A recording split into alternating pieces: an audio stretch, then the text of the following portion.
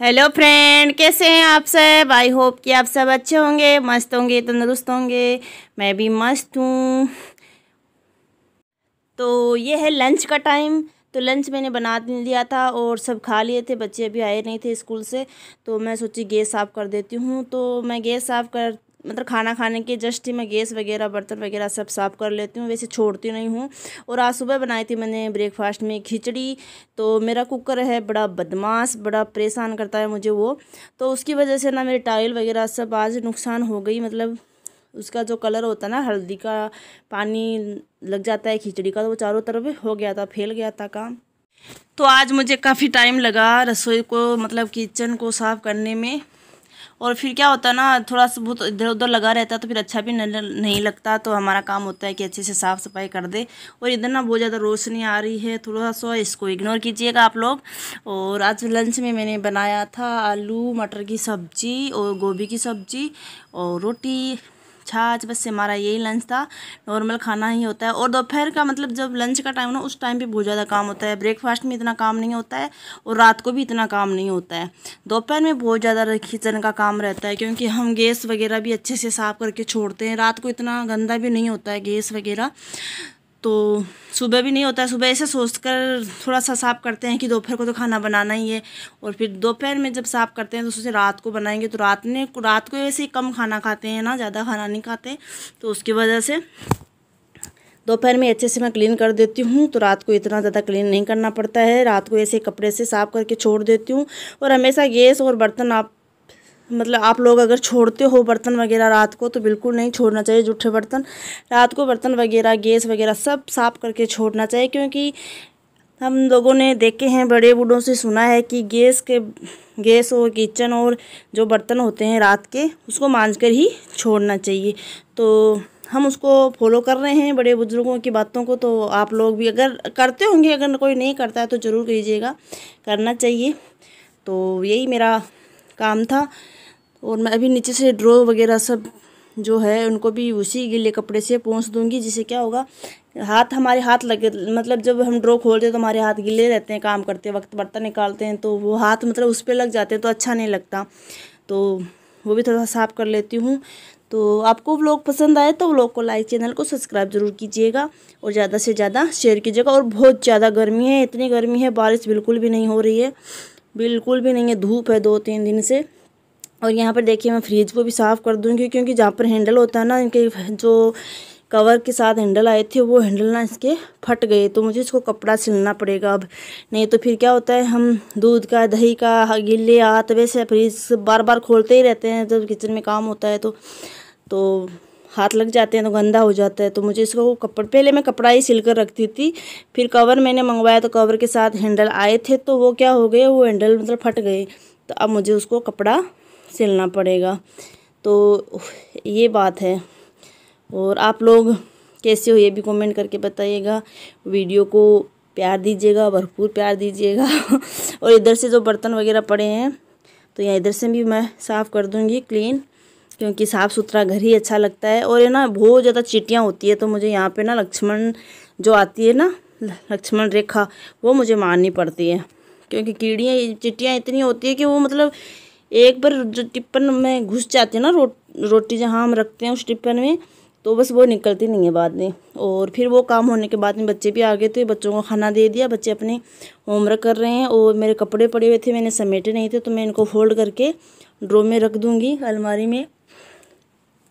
घर में बहुत ज़्यादा काम होता है, काम का कोई अंत नहीं है, आप जितना करोगे उतना कम है काम। मतलब मतलब रोज़ का काम ये डेली का काम यही होता है हमारा। और आप एक्स्ट्रा काम करना चाहोगे ना तो एक्स्ट्रा काम भी बहुत होता है। आप कर सकते हो तो। क्योंकि साफ़ सफ़ाई कर लो घर में आ, कुछ बना लो या कुछ खिला दो बस ऐसे होता है ना। और तो बहुत ही गर्मी है। अभी मैं एडिटिंग कर रही हूँ ना तो भी बहुत ज़्यादा गर्मी लग रही है। फ़ैन लगा नहीं सकती क्योंकि फ़ैन लगाऊँगी तो आप लोगों को सुन हेलो फ्रेंड कैसे हैं आप सब? आई होप कि आप सब अच्छे होंगे मस्त होंगे तंदुरुस्त होंगे अपने अपने घरों में स्वस्थ होंगे। तो मैं अभी जाके आई हूँ मतलब अभी बज रहे हैं साढ़े छः। तो ये शाम का टाइम है, शाम को मैं थोड़ा सा घूमने जाती हूँ तो मैं गई थी मतलब सवा पाँच बजे तो साढ़े छः बज गए। तो हम चार लोग जाते हैं, ऐसे घूम के आते हैं तो क्या पता थोड़ा सा बॉडी में कुछ रिस्पॉन्स मिले कि हाँ थोड़ा सा पतला हो जाए हम।